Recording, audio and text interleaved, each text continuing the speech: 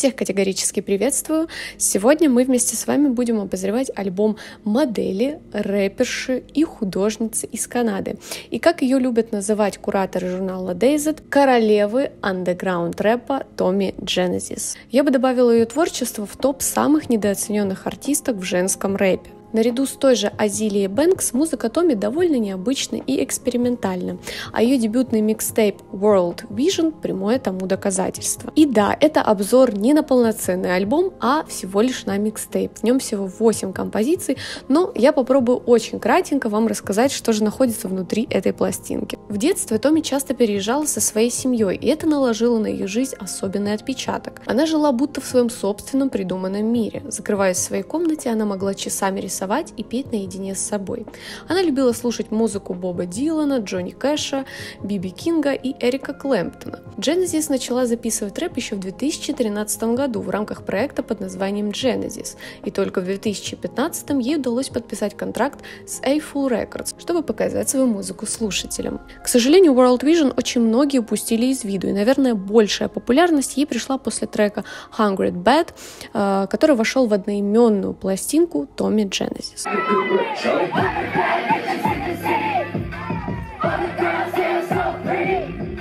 Перейдем к начинке. Трек Hey Demon был изначально задуман как интро альбома, и он перерос во что-то более поэтичное и любовное. Собственно, эта песня э, будто бы послание для любимого человека Томи. И прямо с первой строчки Томи отсылает нас к роману «Венера в мехах». Это довольно трудное для восприятия произведение, которое одни знаменуют как аллюзию на сексизм, а вторые твердят, что это роман о садомазохизме. Но мы тут с вами не книжки обсуждаем, а музыку, поэтому если вам будет интереснее узнать э, про роман «Венера в мехах», а читать не хочется, можете просто посмотреть фильм Романа Полански. В целом песня фиксируется на отношениях не с парнем, а с девушкой, так как известно, что Томми бисексуальна. Я просто обожаю саунд из этой песни. Это лучшее интро альбома.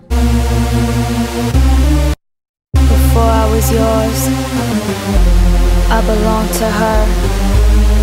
She taught me how to fuck. Помимо довольно примитивной лирики в песне Shepherd по типу «Я пастух своего стада к черту остальных», это вся моя команда «Смотри, как я трахаю остальных».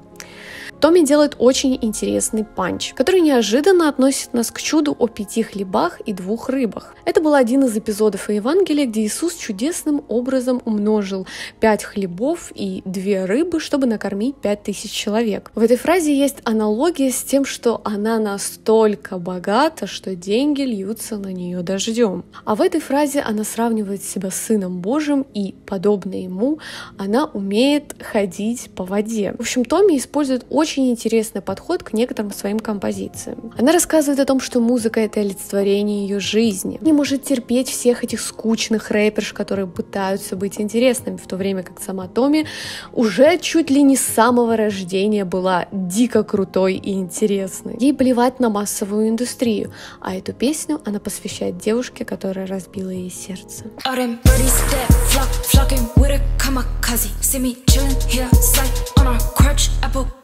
Следующий супер бисексуал трек, в котором Томми рассказывает о том, что ее девушка не знает, что в начале месяца она уже перешла от ваджайны Дику. Также в треке она сравнивает себя с Анджелиной Джоли, что логично, потому что это название трека. И она как бы дублирует эту фразу, вновь сравнивая себя с Анджелиной Джоли, но которая играла Лару Крофт в 2001 году. Крофт отличается тем, что она супер альфа-персонаж, несмотря на свой женственный облик. Поэтому, имея такую ориентацию, Томми может быть как альфой, так и омегой одновременно. Angelina, is that you? Трек Бамп затрагивает наркокультуру. В целом там очень много какой-то грязной лирики о том, что она любит лизать ЛСД на клей, крутить бланты. Ну, вы поняли. И по признаниям самой Томми, это ее любимый трек на микстейпе. If you be fake, then I be hope, but we still can't in between smoke this dope. Трек Potato Head — это некий дис на девушку, которая очень бесит саму Томми. В целом сама фраза Potato Head, то есть картофельная башка, это на сленге означает человека, который очень сильно раздражает. Кто-то вот мега тупой, которого хочется просто убить. В общем, трек про кого-то очень бесячего. She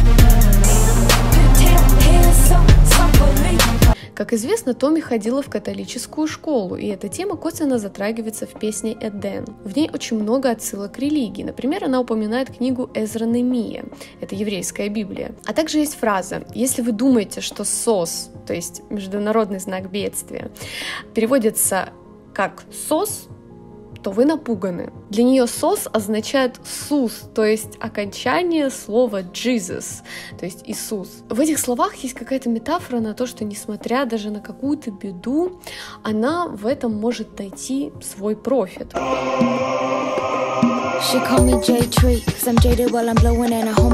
Изначально синглом World Vision должна была быть песня Shepherd, но песня Excute показалась ей наиболее грубой, и именно ее она выбрала в качестве сингла. Эта песня реально звучит, как будто Томми пытаются как ведьму привязать к какому-то столбу. А вот эти строчки еще больше развивают эту мысль. То есть даже если ее будут судить за какие-то ее грязные делишки, ей абсолютно наплевать, потому что у нее свое видение мира, и она выше выше этих людей. Также в песне форсится фраза о женщинах, которые пытаются молиться ее Богу, но на самом деле они не знают никакого таинства и божества. Для них важны только деньги, поэтому они поклоняются неизвестно кому. Что интересно, последний куплет песни цитирует Канье Уэста с его песней New Slaves.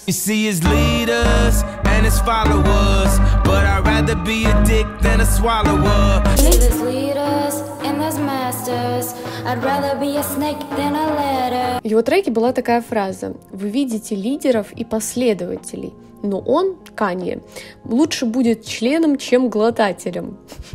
А в песне Томи есть переделанная фраза. Вы видите, что есть лидеры и есть мастера, но она лучше будет змеей, чем лестницей. Ее очень трудно понять не носителю языка, если в ситуации с Канье там более такая обширная фраза про члены, глотатели, ха-ха-ха. То есть здесь Томи намекает на настольную игру «Змеи и лестницы», суть которой состоит в том, что вам нужно пройти все препятствия в игровом поле быстрее остальных игроков. Томми берет на себя роль той самой змеи из игры, которая очень гибкая, умеет ползать по всем неровным поверхностям, а это в любом случае проще, чем перелезать сто раз по лестнице и прилагать большие усилия.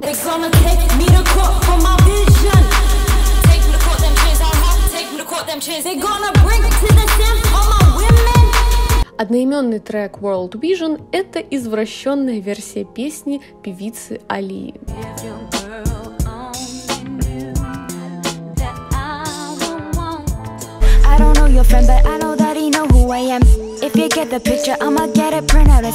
По словам самой Томи, трек Hair Like Water, Heavy Like a Sea — это совместное дитя с певицей Аброй. Эдакая колыбельная женской силы и концовка микстейпа.